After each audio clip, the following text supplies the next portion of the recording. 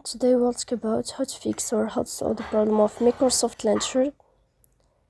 You will go to settings as you see and you can click.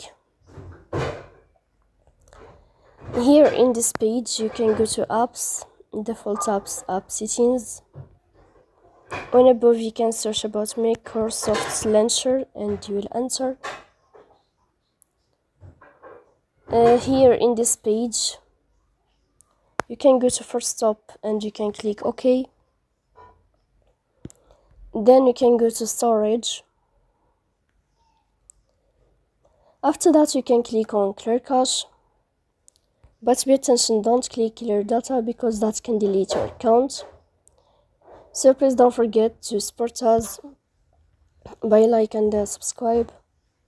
See you next time in another video and uh, thank you for your attention and your watching.